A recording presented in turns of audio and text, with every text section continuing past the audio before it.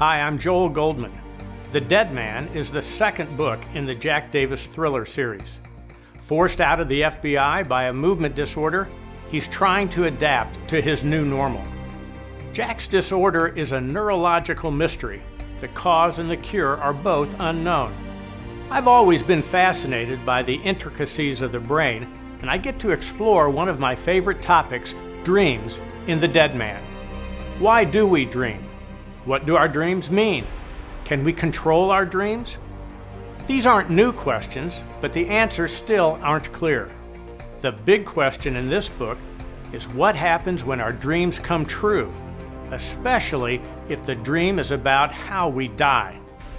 That's what Jack is faced with when billionaire Milo Harper hires Jack to find out why the subjects at his research institute are dying just as they dreamt they would. Set in Kansas City, the story begins with a decades old unsolved murder in a farmhouse outside of town. For Jack, the dead man will shatter illusions, raise ghosts, and take him on both sides of the law and into the path of a murderer's terrifying rage.